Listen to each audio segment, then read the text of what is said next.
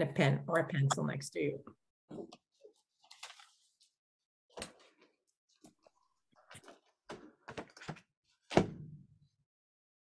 I'm Josh. I'm from Bethesda, Maryland, which is the Newton of Washington D.C., and uh, we are now we are now located in Wellesley for work. I'm Eliana. I am from Rochester, New York, but also am in Wellesley, Massachusetts. We've been seeing a lot of you Beth Elohim um, leaders, which makes us very happy. And feel free, anybody, we can either introduce yourself out loud, throw it in the chat so other people can see it. I'm Susanna Grant. I'm from Temple Beth Israel in Fresno, California. Ooh. And I'm Judy Kropf. I'm in I live in Garrison, New York, and I teach in Croton, New York at Temple Israel of Northern Westchester. Wow, we're from all over the country here today. Thank you for joining. We'll just wait one more minute.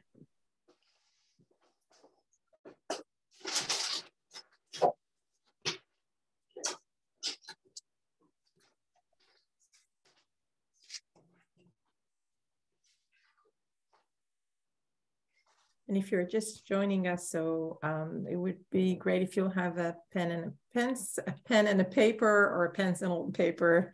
One of those would work. We're not used to having them, but it would be great. And if you want to introduce yourself or where you're located, open the camera so we'll see you for a second. Um, it would be great. If you also feel like you need the camera off, that's fine too. And Yafit, I'm realizing that you are not a co-host yet. There we go. Right. Well, I think we're going to get started. Um, and I'm sure there'll be lots of, of people popping in. We had quite a few people register from literally all over the country, both coasts, the middle of the country. It was really astounding. So um, I am so thrilled that everybody is here. So welcome. Um, actually, I'm just going to share my screen real quick. Um, so as you can see right here, um, we are going to be learning about designing and redesigning programs.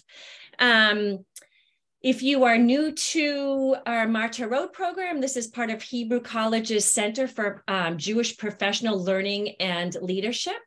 And I am so incredibly honored to introduce my colleague, and my friend and my teacher, Yafit Megidish, who is joining us from Berkeley, California. Um, so Yafit will be engaging us in the process of designing and redesigning program through really unleashing creativity and innovative thinking um, with our staffs. So I'm just letting people in at the same time, so you'll have to bear with me. Um, just a reminder that the session is being recorded and um, feel free to go onto our website afterwards and share it with your staff if you would like to. Um, let me tell you um, just a little bit about Yafit, and then I will turn it over to her. So Yafit was born in Israel and moved to Berkeley seven years ago. She is a veteran educator with a master's in educational management systems from Hebrew University and over 24 years experience in the field. She began her career working with children from low income families and at risk youth. Um, and in 2001, uh, Yafi joined the Branco Weiss Institute for Development of Thinking, also known as BWI, um, where she worked to train educators, develop programs from leadership and creative thinking, and implement pedagogy with children from second to eighth grade. Um, before moving to the US, Yafit spent 10 years working at BWI schools as both an educator and a school principal. Yafit is now the executive director of Studio 70 in Berkeley, California, um, which is a Jewish educational center whose aim is to transform the landscape of Jewish learning opportunities across um, North America. And on that note, it is uh, my honor um, and my absolute joy to turn this over to Yafit. Thank you so much, Susan. I'm really glad and excited to be here with you all. Um, thank you for the introduction. I kind of saved me a few minutes of, of laboring on that. Um, I'm, I'm really glad to be here and, and I kind of first want to give you the agenda for this session so you'll all know what are we going to do in the next hour, um, how we're going to spend it. So as Susan said, this would be focusing on creative thinking and innovation in Jewish education.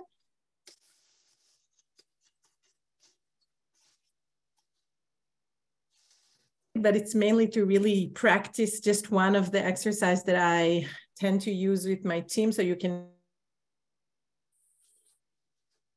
creative thinking feels for many people as something that is threatening, like, oh, I'm not used to it. I'm not good at that. I'm not creative.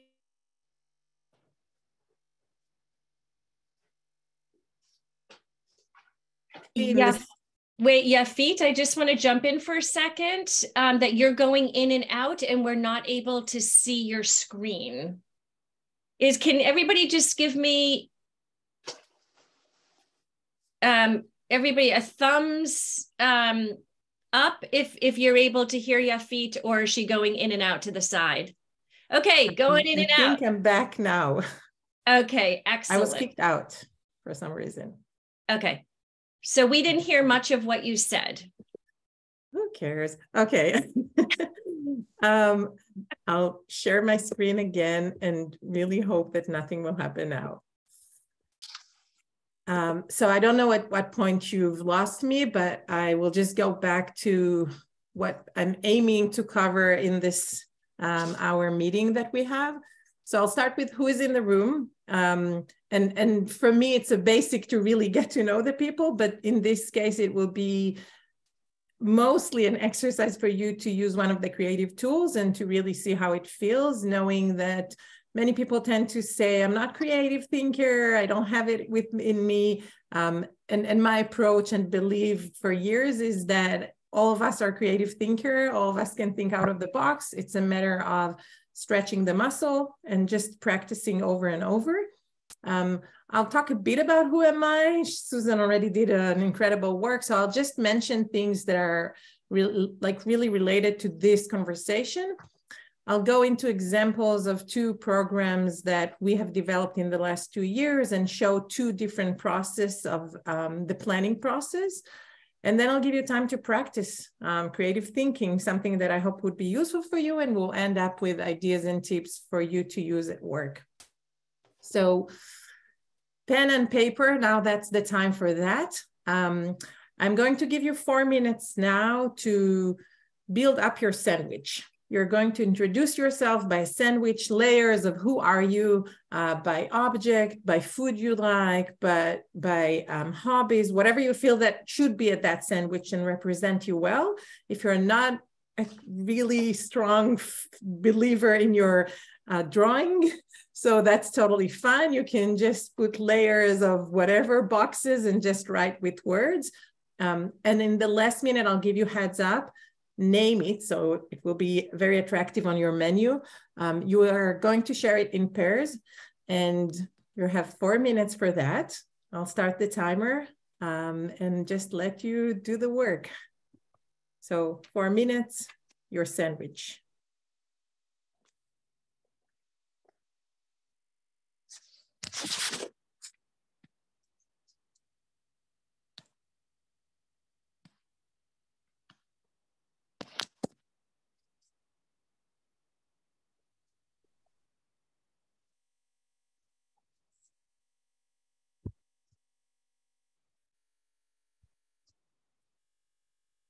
Mm.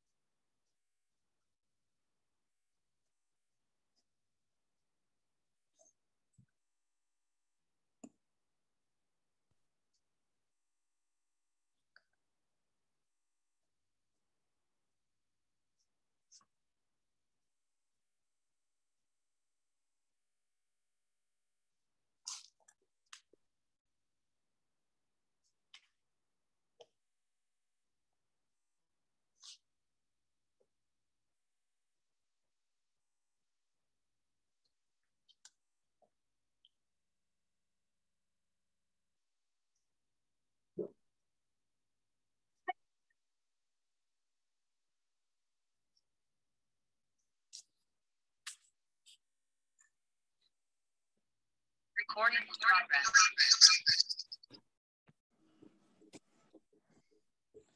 Richie, I saw that you're joining us again. Um, I'm trying to get my camera to function. Oh, no worries. Um, so I gave about four minutes to create your own sandwich to introduce yourself.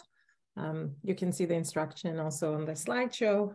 Um, I'll, we have two more minutes, so you have half of the time, but you still have time. And, and if you're not feeling drawing, just like create layers and write it.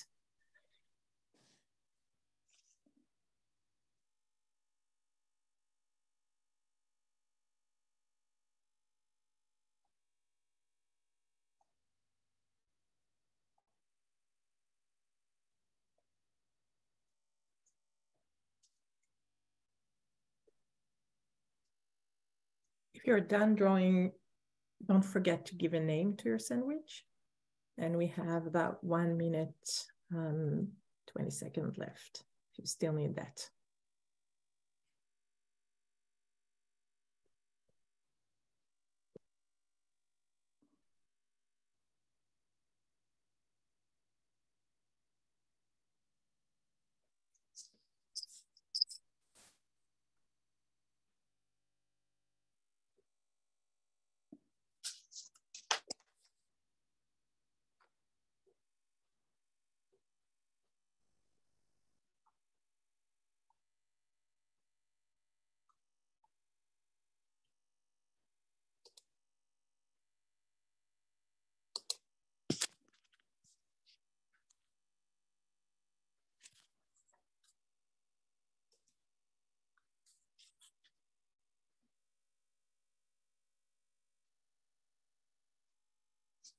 We have 20 seconds left.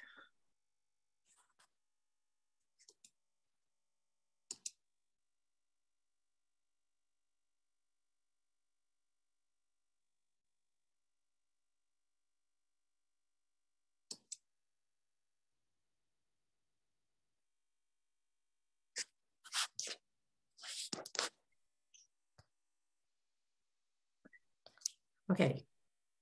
Um, as you all heard, timer rang. Um, I, I will say that about this exercise that I usually give five minutes. For some people, it feels forever. Um, and creative thinking needs space.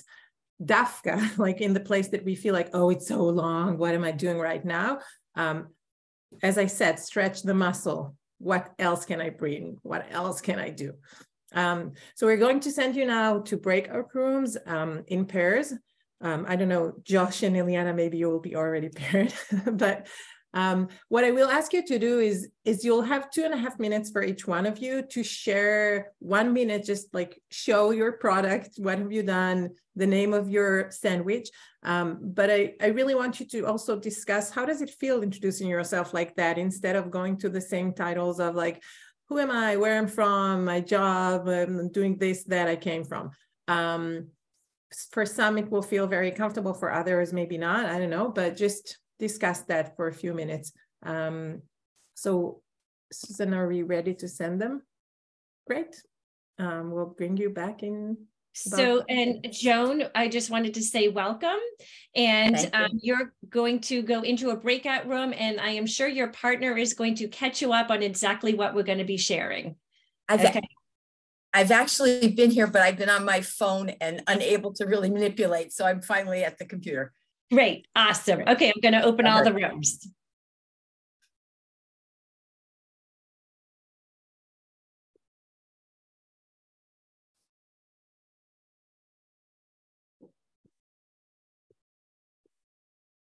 I have one quick question for you.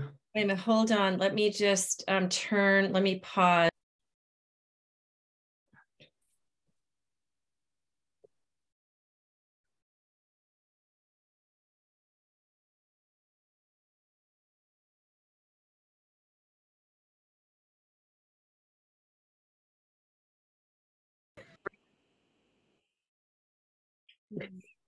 I think we have everyone back. I'm seeing some laughter. We were Um, playing so Jewish before, geography. before we We're just like geography. hear a bit from, sorry, Richie was saying something. I said, don't we always play Jewish geography when we start? Of course, of course. Um, I would love to see your sandwiches if you can just like hold it for. Oh wow, Judy, there's so Oh, many mine.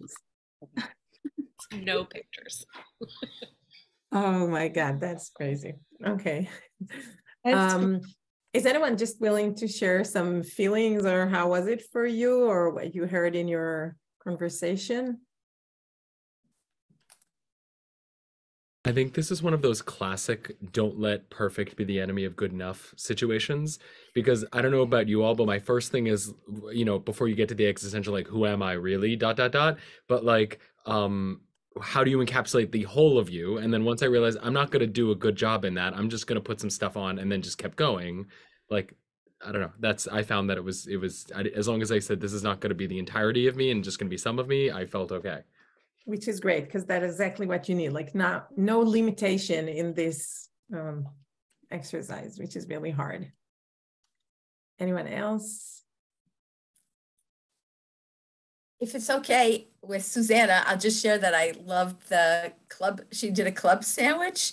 I'm I'm not sure I, when I'm thinking about it now that I exactly got the symbolism, but I, but I can imagine different. I can imagine different things she said that fit into that, and I and I I just like that. I thought that was a creative way to do it. Uh, thank you, Richie. Um, I actually did make it as a sandwich. It was a veggie wrap. So first of all, it has to have a solid foundation so it doesn't fall apart and keep it all together. And it's not layers of, I mean, uh, classic layers, but it's all mixed and it blends into to each other and lots of veg- vegetables. It sounds like you had fun. Yeah, we did. Okay, great. Thank you. Um, um, I'll get back to it at the end, but really um, creating a culture in any place that I've led for the last 10, at least 15 years, um, creating a culture of creative thinking is one of my really strong habits. Um, any staff meeting, any development of an event will include some exercise, and I'll give a few examples at the end of creative thinking making sure my staff is training themselves all the time to think out of the box. Every meeting will start like that. We have a problem, let's use the tool. We have just like a meeting to know each other, let's use the tool. Um, and it's become a habit for everyone and it doesn't feel so scary. So I'll, I'll get back to that at the end, but really just knowing that those small things makes a difference for, for our brain when we're developing that.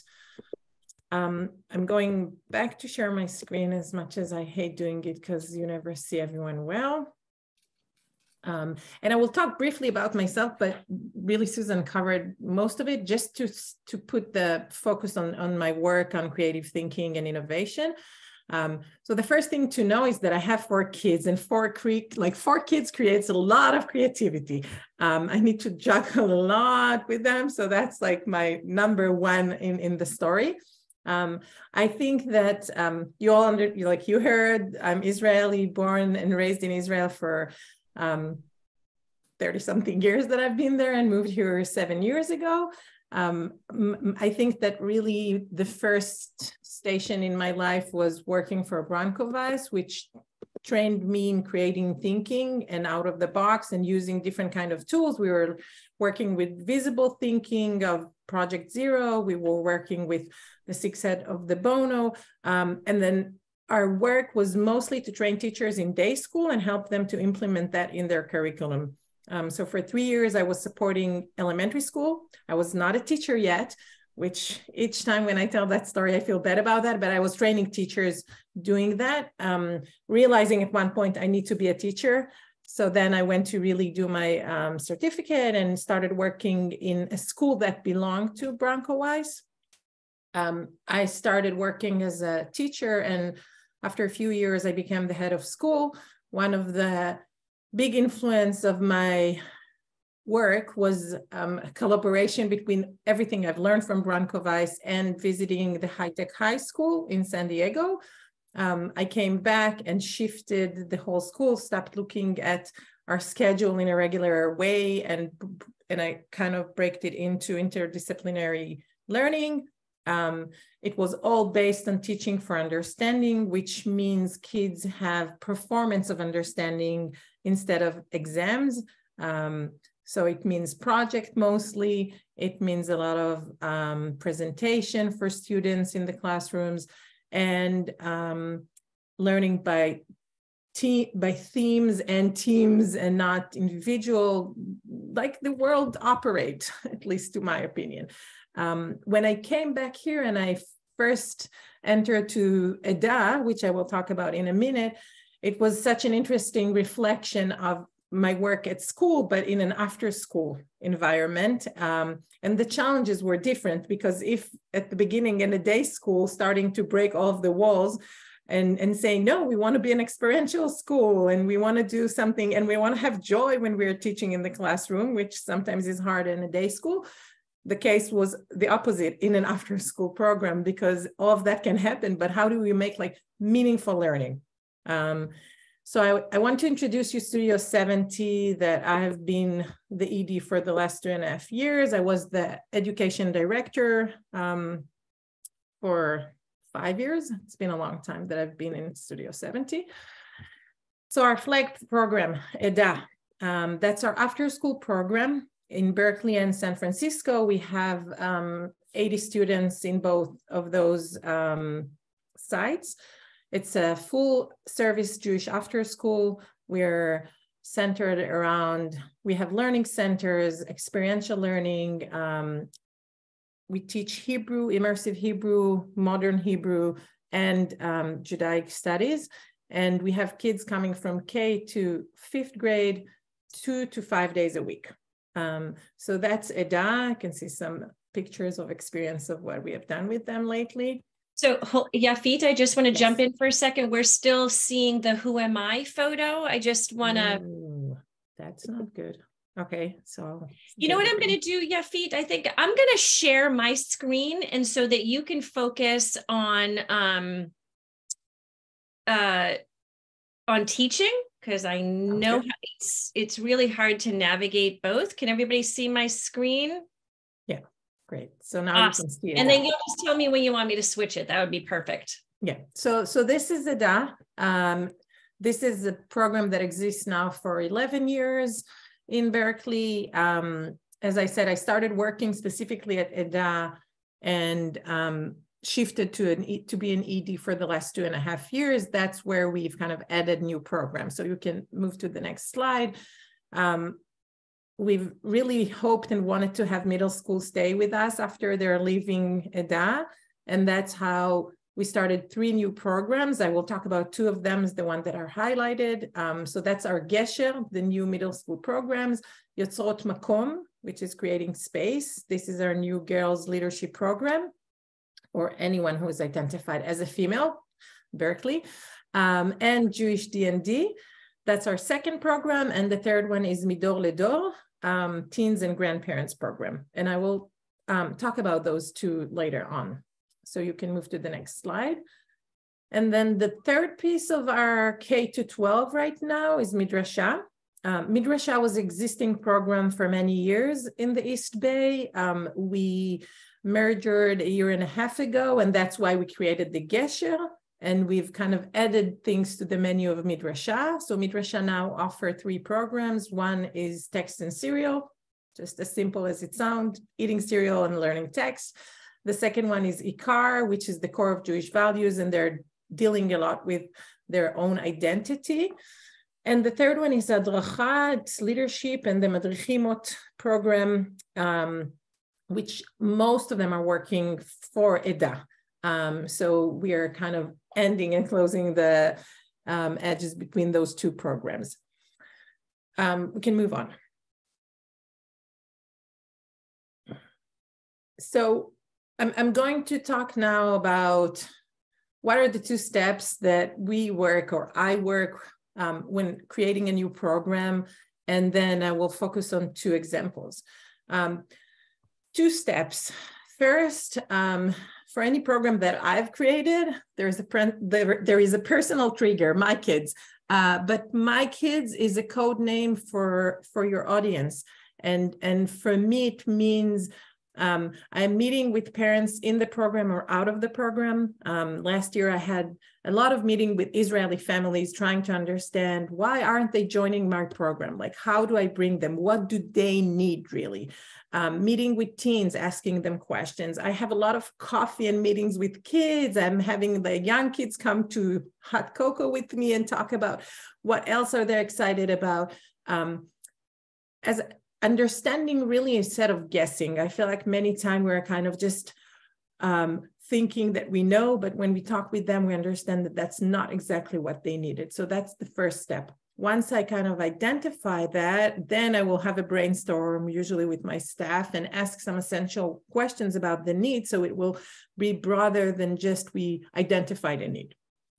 So I'll get into the first example of Midor Ledor which was uh, two and a half years ago. It started during COVID, so it's kind of easy to understand the environment of that. First step was seeing, I observed my kids and their grandparent, grandparents staying at home, COVID reality, isolated. Um, I also observed that they're struggling having meaningful conversation with each other. It was always like, Akol Tov, Ken, everything is good. Yes, no, like really short answers. Um, and I really struggled with the question of how do you make that more meaningful? Um, so I sat down with my team and I said, look, we have this amazing opportunity right now. We're online. Um, how do we strengthen those relationships? How do we create space for grandparents to pass on their heritage, um, connect between them? And we decided to start with the pilot. We invited grandparents of Eda, of our after school, to join to our weekly program. And they learned together the parasha for 20 minutes, and then we divided them into families, and they had a prompt, and kids will work on something, and grandparents will just share with them, and they will spend time for 20 minutes. We did that for six weeks. Um, and then I met the grandparents because I really wanted to hear how was it for them, what were they excited about, what would they like, like how they envision it continuing, or they had enough. Um, heard all of their needs, spoke with the kids, heard their needs, and then we said, okay, so we know now we continue with the DA. It was great. They want to do more. Um, let's think now about the teens, knowing that our madrichimot like were online and they are so isolated. And with them, we were trying to think we don't want to do the parasha. We really want to teach them how to create meaningful conversation. So we were focusing on allowing them sharing stories, grandparents really bringing on their stories and their values and, and their tone into the conversation. And the second part of that, and same goes for the teens, and the second part was giving them tools for conversations, asking why questions, like really practicing with them on how do you ask why question when you an open question, so the kid will have a really long answer for that. Um, we're practicing with them different kind of scenarios, so they had like time, and and it was just a joy seeing that. We started with three groups in Berkeley, in San Diego, and in LA um, and of course, at the end, we need to fulfill my needs. So we opened a group of Israeli grandparents and teens from United States. Um, and this program continue working. We're now shifting into in person. Um, and since not all the grandparents are here around us, so we're shifting to a program that will be any elder that we can in our community that will have relationship with our teens and they will have meaning like conversation about so many things that we are offering them. Um, so that's one way of planning process. I will go to the second one and then i'll stop to see if anyone have questions. Um, so if we can move to the next one. Okay. So the second program is Yotzrot Makom, which is um, really my joy. We've opened it not long ago, Yotzrot Makom, creating space. Um, first step again, my daughters, um, seeing them growing with uh, a lack of female leaders in their life, um, understanding that we need to keep on doing working on, on empowering women, females. Um, and there was another observation that we have that, that in our high school program, there are not a lot of um, girls, which we found really interesting. But we started to think, so what are what are the questions? How do we create a pipeline to the high school program. How are we not a Bnei Mitzvah program? We're not doing that. We're not a synagogue. We have a, we have 70% of our family affiliated, 30 are not. Um, how do we empower girls in Jewish space? What's the difference between us and, and Girl Garage next to us or Girls Leadership that is in Oakland?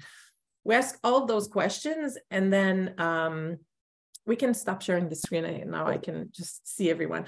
Um, and then we've used one of the tools. So I have, I'm using tons of cards. That's that's something that I really love having always in the office, different kind of cards, visual cards. Um, had cards of females from the Torah, put them all on the table, had my team sit around it. Um, we started taking each one of them and thinking, what are um, our takeaway from each one of those females characters. So we were really discussing Pua and Yudit, like really going everywhere. Um, what are the takeaways? And then we kind of identify a really long list and fleshed out what are the things that we would love to teach our, our girls from that list. Um, so then we know the content. And now how are we going to do that? and we said okay so we have all those females character. Each one of them was operating in a different kind of role. One was an nevi'ah one was a miyaled there's like so different roles. How do we think of different roles in the world? And then we started thinking of different media. We want them to use power tools we want them to be photography we want them so, so we kind of identify different roles and we match between character and tools or media so the program now is that every month they're meeting a female character from the Torah, and then they learn about her in Chavruta, and they design their takeaway, which is a personal takeaway from that character, by different medias each time. Um, and we've started this program with 10 girls right now, um, middle school girls, um, trying, it was like we're writing curriculum, we're trying to get a grant for that to expand this program just um, broader to other communities. So um, two program, different process of working, starting from the same point of, of identifying need into pushing ourselves to think in a creative way, to find opportunities to really use it um, and to expand it.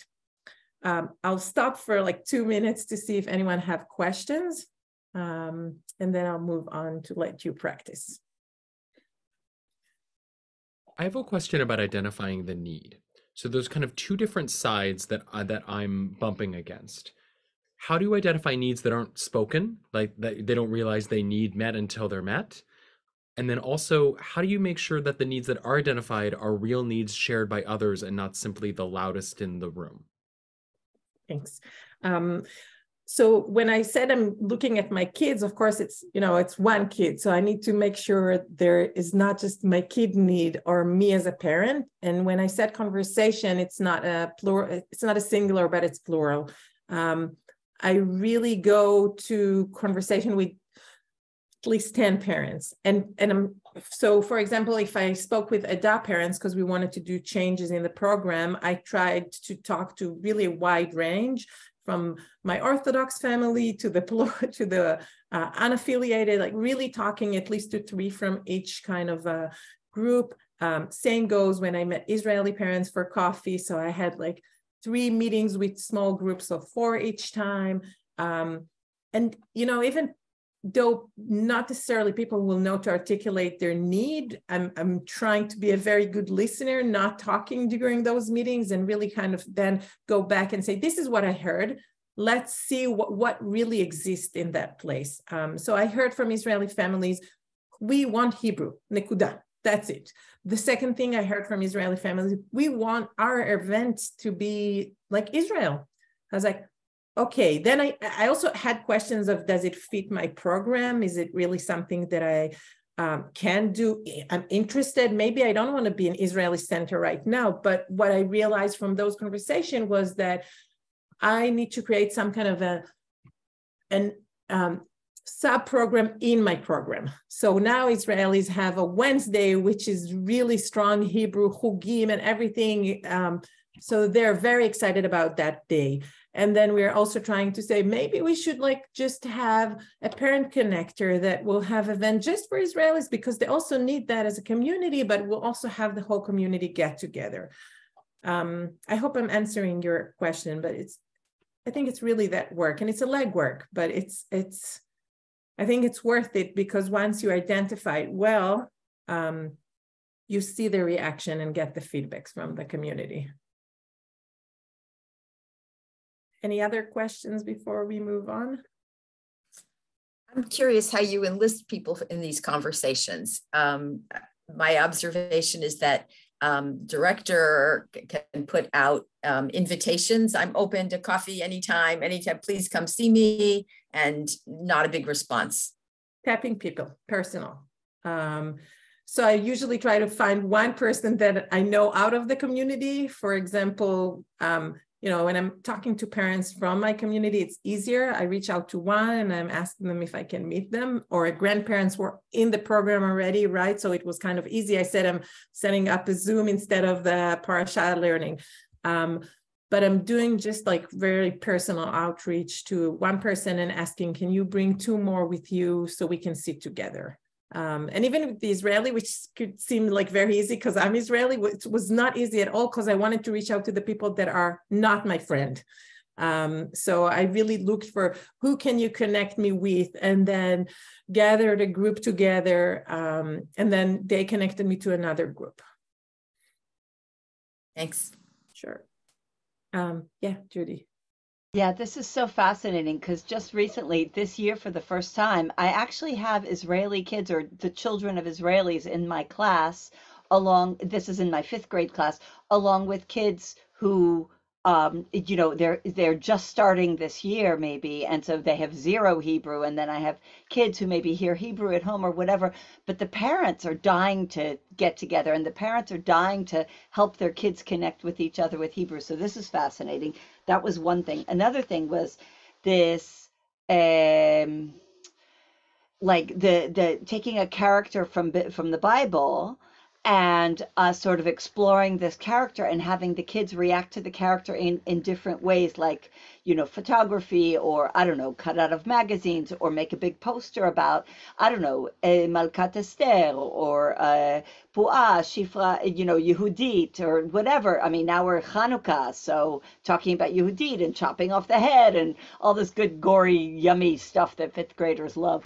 So um, I was just wondering, like, uh, do you ah do you work on like character traits like gvura or um, uh, like uh, certain things like you know talk about well i don't want to you know steal your program yeah. or anything but i was just wondering no, no, no. what you focus on with these different characters from the bible so we actually didn't want to choose what are we focusing on we really want them to have the ability to the impression you know they were learning about each one of them and we chose the one that not all of us know. Like we all know esther we all like let's focus on the one that we like deny like we we we never speak about her right? So we we chose those one and we kept it open for them to learn about them and then say this is my takeaway from this person. Um, and my daughter, of course, is in the program. So last week she was coming home and talking about Ruth and Naomi, which we all spoke about, but she suddenly brought this whole different perspective because for her it was something else that she was really excited about. Um, and and they were, you know, so just kind of that, and then also pushing them to to use. We wanted when we were thinking of gender also to use spaces that they're not used to. So Power Tool, for example, they're going to use that in the next unit. Um, that's not a place that necessarily feels so comfortable for some of the girls in our program, which we, we also want to push them out of their zones, their, their safe zone, um, if I will say. Um, I want us to get to some practice, so I'll move us forward if that's okay. Um, and I'm, I'm going to kind of give you an exercise for, we'll take about 10 minutes for that. Um, next slide. Great.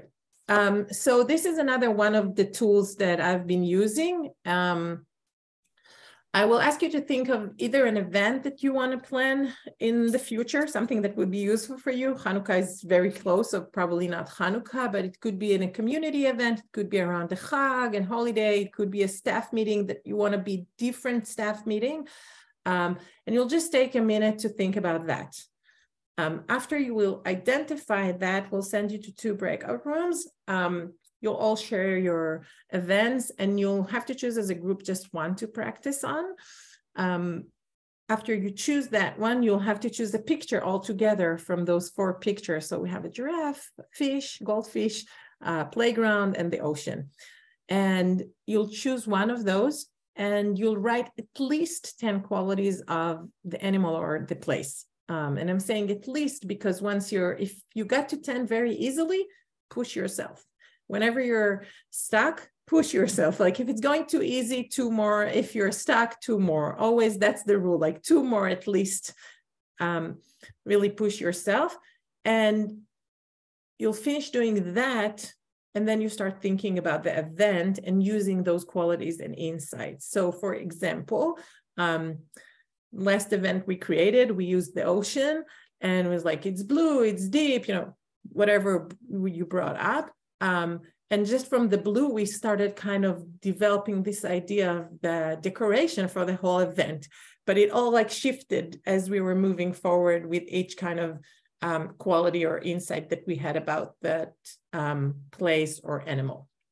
So before we send you, I'll check in if you have question about this exercise, and I will also put in the chat um, the link to the slideshow if you want to go back to this um, page so you can have it um, and also have it for later on. I'll go over the rest of there is not more on that slideshow. So um, 10 minutes before we go, I just want you to have um, an event in your head that you can share with the group. So we'll take like 30 seconds for that. And I, and I will say before I'm sending you, I, I already said it at the beginning, but time is crucial for creative thinking. Um, sometimes it's great to do something in two minutes because we want to pressure that, that uh, muscle, right? Sometimes it's good to give that muscle a time to really, really stretch all the way. Um, and yes, it was good that you went to the next one because those are like important rules. Um, when you're doing this exercise and coming up with ideas, suspend any kind of judgment. There's no conversation of, oh, no, we can't do that. In your staff meeting, especially when you're coming up with ideas, this is crazy, we don't have the money, all of those out of the room. We are not having them. Um, look for as many options as you can strive for a regional one. The craziest one are the better, even though it, in the end, it might not be realistic, but you will take something out of that. And when you're done doing all of that and you're stuck, combine. Um, I had this idea, you had that, let's just combine them now into one thing. So just kind of having those rules in your head. Um, if you have an event in your head, just thumbs up so we can send you to a breakout room or I will be silent now so you can think about it. Um, okay, I think we'll send you, it will be less than 10 minutes, but it's, uh, it's just a start of a practice. So Susan, if you're ready, I think we can. And I will jump in.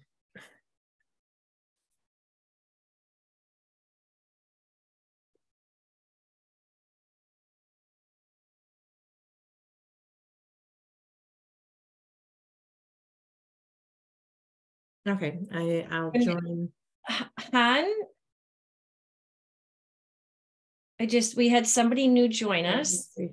Yeah, I- will join one of the rooms. Okay, so Han is in room um Two. two. Yeah, I see that. Yeah. Land on a word. Um, and that word will be our word to work with. So the same with the fish will be the, the word is dog, the word is book, whatever it is, and then you work on that. Um, if you have a problem or challenge in the organization, um, using it many times in different ways, but I'm asking people to write solutions for things they've solved. And then we're putting them all together and we push ourselves to use those solutions for the problems that we have right now. Um, it brings up a lot of funny things, but really also good solutions that we didn't think about. Um, write a six word, word story, just like to open your meeting for something, it's just an exercise. Um, and then if you can go to the next slide, um, there are two examples for drawing that people can just kind of work with of creating something out of that, or their next page is having 30 circles that um, push ourselves to create some um, logic of those objects and um, it's not about the quantity, but really about the quality. So letting people work on that. Um, and you can go ahead and read that later.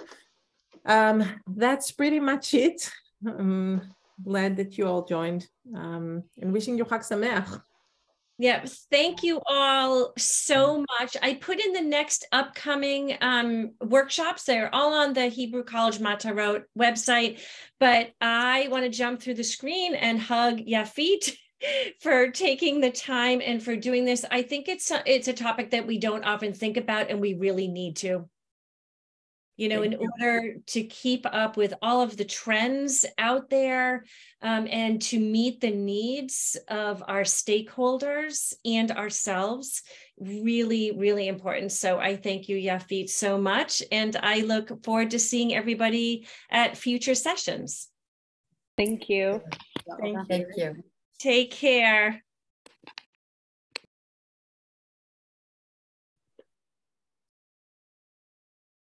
Stop recording. That went by so fast. Yeah, I stop. I'm stopping.